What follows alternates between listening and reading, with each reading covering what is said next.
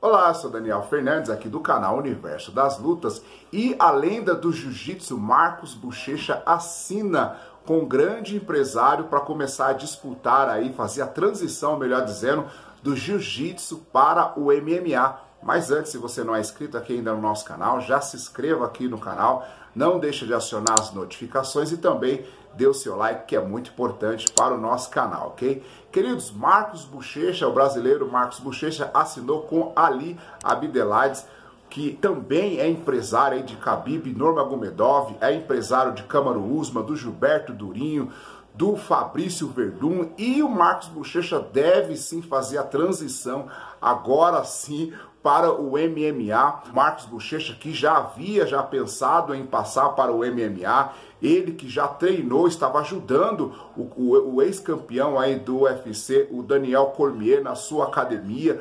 Muitos já se falavam que ele ia disputar o MMA, mas ele estava segurando um pouco. Ele que é multicampeão de jiu-jitsu, foi campeão muitas vezes na faixa preta, no pesadíssimo, no seu peso, foi campeão também algumas vezes do ADCC, ou seja, no jiu-jitsu ele já venceu tudo que ele tinha que vencer, é um dos maiores campeões do jiu-jitsu, da arte suave, e ele tem sim curiosidade para ir para o MMA, para ir para as artes marciais mistas e parece que agora isso vai acontecer. Ele assinando o contrato com esse grande empresário, tenho certeza que Marcos Bochecha vai fazer sim muito sucesso também no MMA. É uma categoria totalmente diferente, mas ele tem um talento muito grande para luta. Eu tenho certeza sim que como Rodolfo Vieira, ele vai se dar muito bem aí no MMA, porque ele tem um grande empresário por trás disso, luta muito e, obviamente, ele vai se preparar bastante para isso, ok?